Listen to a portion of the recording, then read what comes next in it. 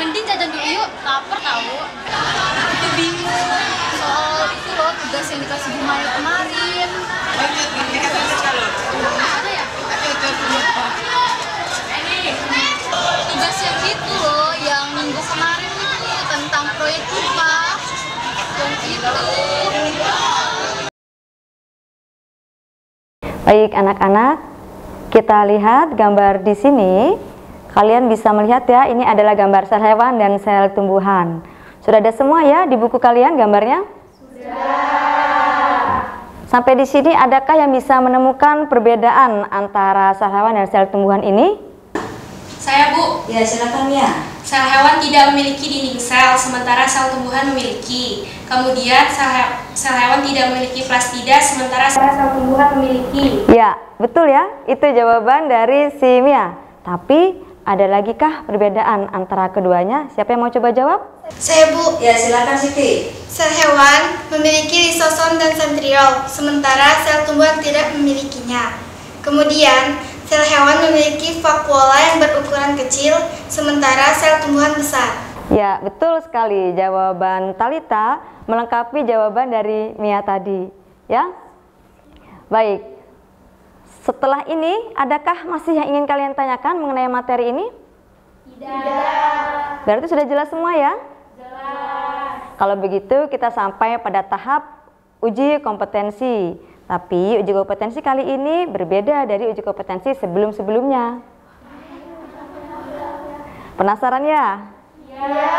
Nah, baik, uji kompetensi kali ini berupa proyek, namanya proyek Scientia.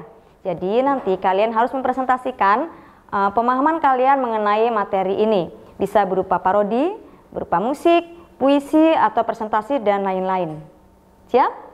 Siap. Baik, uji kompetensi dalam bentuk proyek Scientia, Ibu tunggu dua minggu dari sekarang. Oh,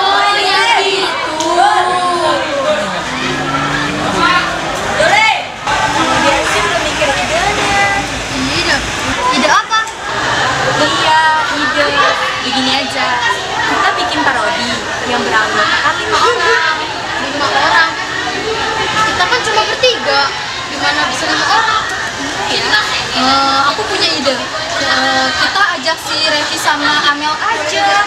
Oh iya. Kan mereka lagi nganggur. Ayo kita ajak yuk. Yuk. Yuk. Baik, anak-anak, sekarang sudah dua minggu setelah penugasan tersebut. Ah, apakah kalian sudah siap untuk memberikan pertunjukan kepada kita semua? Siap. Baik, kalau begitu kita sekarang akan menyaksikan penampilan kalian ya, yang nanti akan Ibu beri penilaian.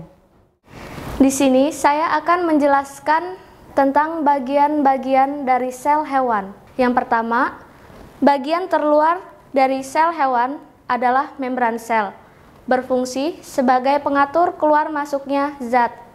Yang kedua, nukleus atau inti sel, berfungsi sebagai pengatur semua aktivitas sel.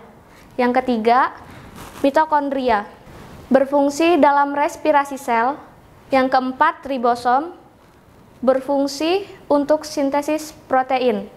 Yang kelima, retikulum endoplasma, berperan dalam transport zat intrasel.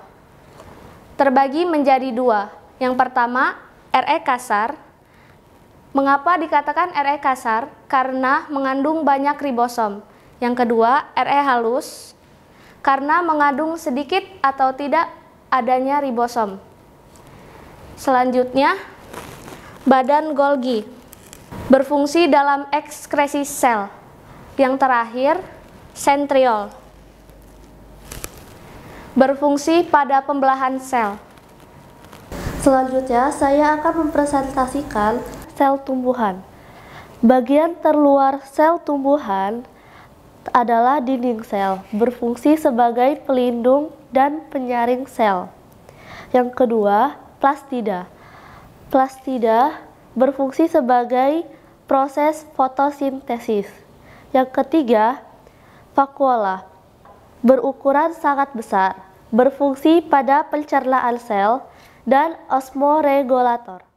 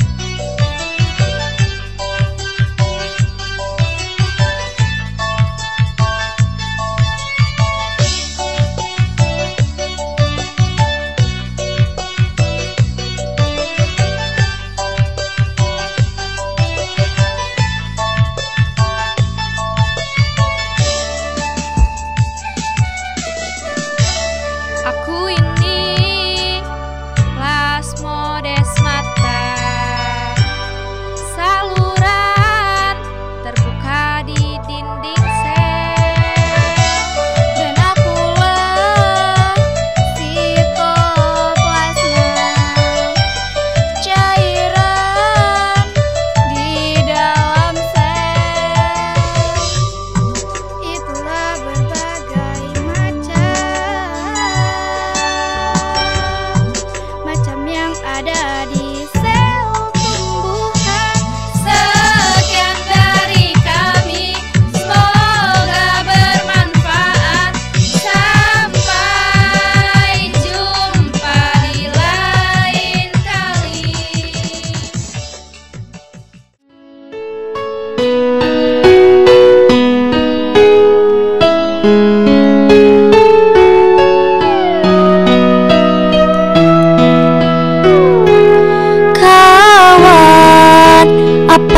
kalian tahu pelajaran IPA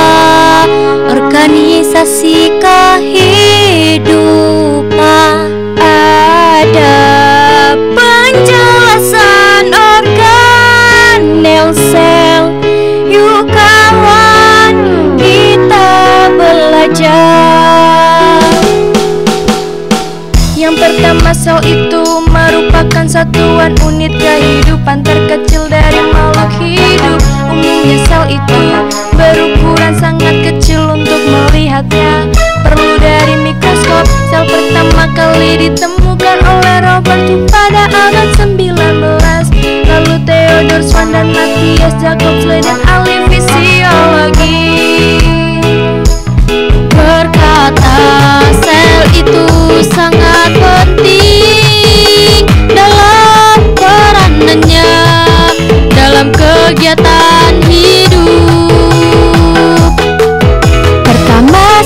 selaput sel kedua sitoplasma yang ketiga ada inti sel atau nukleus.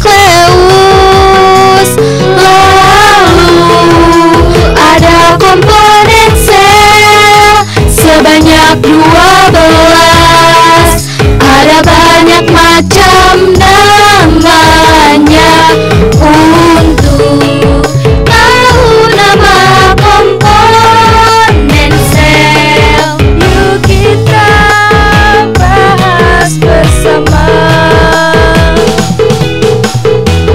Pertama membran plasma dan kedua endoplasma nukleus sitoplasma dan ada badan Golgi Yang keenam ribosom, lisosom, mitokondria, dinding sel sentriol Plastida vakuola, itulah kedua belas nama komponen sel yang ada dalam organ-organ sel. Yang telah kita pelajari pengertian dan fungsinya bersama-sama. Sekian itu saja kami. Semoga bermanfaat. Dan dapat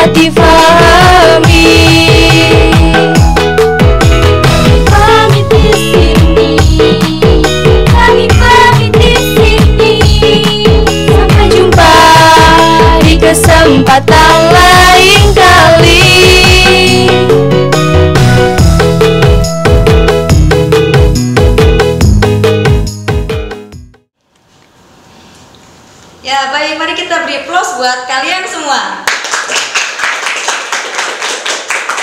Terima kasih ya sudah mempersiapkan penampilan ini dengan sebaik-baiknya Ibu nggak nyangka. Penampilan ini sangat baik. Ada pantun buat kalian. Jalan-jalan ke kota bumi. Tidak lupa membawa semanggi. Jika melihat penampilan seperti ini, tampaknya ibu akan beri kalian nilai yang tinggi-tinggi. Yeay!